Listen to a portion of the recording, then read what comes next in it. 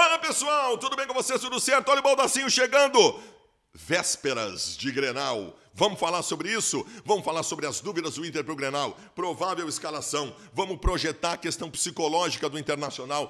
Terra arrasada, há motivo para esse momento. Muita coisa importante para a gente tratar aqui. Antes, eu quero dizer para ti o seguinte: ó, que tal tu ter um aplicativo para ver a Bundesliga de graça, o campeonato alemão de graça. Eu estou falando da One Football. A One Football é parceira do Baldaço aqui no canal. E tu vai fazer o seguinte a partir de agora. Tu vai... É grátis o aplicativo. É grátis o aplicativo, tu vai ver o campeonato alemão, tu vai colocar lá como prioridade o teu time, ter todas as notícias do teu time em primeira mão, notícia de outros times também, gráficos, dados, tudo de graça num aplicativo. Só que tu tem que baixar o aplicativo da One Football aqui pelo meu link, que está aqui na descrição do meu vídeo. Baixa por esse link aqui porque por aqui tu vai estar ajudando o canal, eles são parceiros do canal. Então baixa agora de graça o aplicativo da One Football. Eu tô te pedindo nesse link que está aqui embaixo. E se inscreve no canal, estamos chegando a 200 mil até amanhã, se Deus quiser. E dá joinha sempre, solta a vinheta.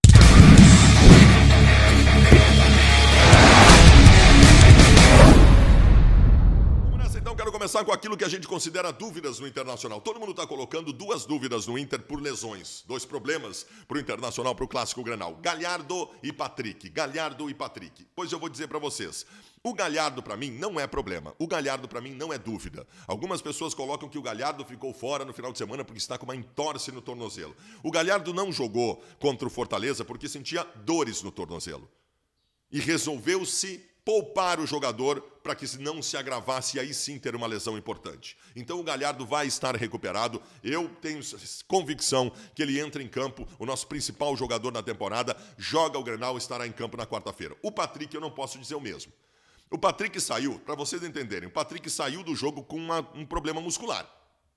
O cara quando sente uma fisgada na coxa numa partida, é no mínimo 15 dias fora. No mínimo 15 dias fora. E, e pareceu o que aconteceu com ele. A não ser que ele começou a sentir algum desconforto e resolveu sair para se preservar. Não sei. Eu não conto muito com o Patrick no Granal. Não conto muito com o Patrick no Granal, tá? Então Galhardo joga e o Patrick eu não conto muito. E aí?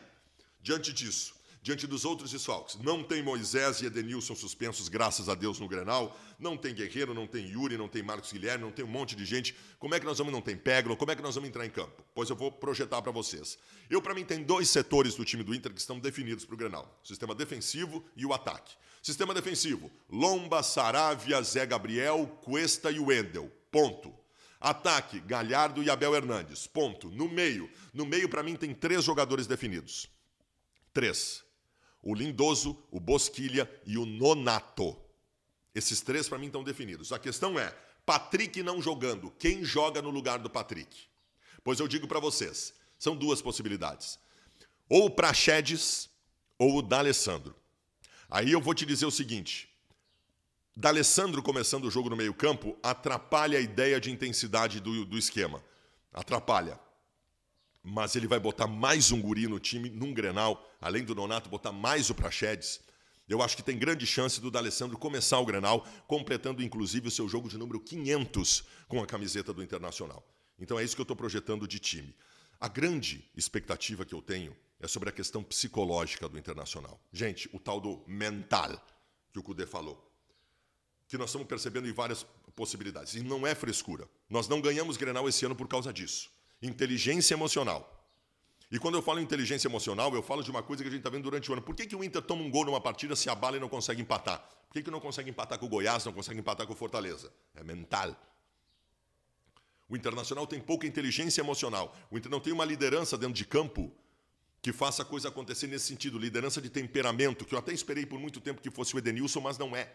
Né? A liderança, para não sair de um Grenal dizendo que faz parte perder Grenal como já aconteceu nessa temporada, né? A indignação, e não é falta de vontade. A indignação que o Inter coloca em campo é uma indignação para pegar o pescoço do Orihuela, para cair na provocação do Grêmio num Grenal da Libertadores que ia perder e entrar no quebra-pau com eles, que é tudo que eles queriam. É, é um faniquito do D'Alessandro depois do jogo. É o psicológico. Mas aí tu vai me perguntar, Baldaço, tu acha que vai resolver isso de uma hora para outra? O cara que não tem temperamento, não tem temperamento, mas eu espero que tenha amadurecido. Eu espero que os últimos grenais tenham amadurecido alguns jogadores do Internacional e que nós tenhamos uma postura de inteligência emocional. Botar vontade num grenal não é pegar o pescoço do Orihuela. Botar vontade no Grenal é ter uma, uma entrada diferente na hora da dividida. Eu bater no peito que nem o Magrão fazia, que nem o Guinha Azul fazia, e dizer, vamos lá, cacete. Né? E dar aquele gás especial durante o jogo. Isso é temperamento. Isso é inteligência emocional. Não cair na provocação. Né? O Grêmio é um time catimbeiro. O técnico deles nós sabemos como é. Então, isso tudo tem que tomar cuidado. Isso tudo tem que tomar cuidado. Gente, nós estamos começando na próxima quarta-feira uma sequência. Deixa eu botar na tela para vocês o que o Lucas Colar tweetou. Olha a sequência do Inter a partir da quarta-feira. A sequência do Internacional, do dia 23 até o dia 22 de outubro, ou seja, um mês, é de nove jogos. Nove jogos. Nós estamos falando de praticamente um jogo a cada três dias. Nós estamos falando de uma loucura, de uma sequência importantíssima. Olha os jogos do Campeonato Brasileiro que se tem. Tem Grenal de novo em seguida no Campeonato Brasileiro. O Inter vai definir nessa sequência, por exemplo, em um mês, o que está brigando no Campeonato Brasileiro. Né? O Internacional vai definir a sua passagem para a próxima fase da Libertadores América. Esse um, esse um mês, essa sequência que eu botei na tela para vocês, é uma sequência que vai mostrar muita coisa do Inter. E eu quero dizer para vocês aqui, está aqui o Baldaço, está aqui o Baldaço, que é o cara que reclamou, xingou depois das derrotas últimas, que disse que tem que tirar o Moisés do time, que disse que dessa forma não vai ganhar nada, reclamei tal tudo. Agora, eu tenho a consciência de que nós temos problemas para resolver e resolvendo e podemos resolver, nós temos duas competições que nós estamos muito bem colocados. Muito bem colocados. Nós somos líderes do grupo na Libertadores e nós somos perdemos a liderança nesse final de semana, mas é só buscar a liderança de novo. O Inter corrigindo seus problemas, o Inter briga por tudo.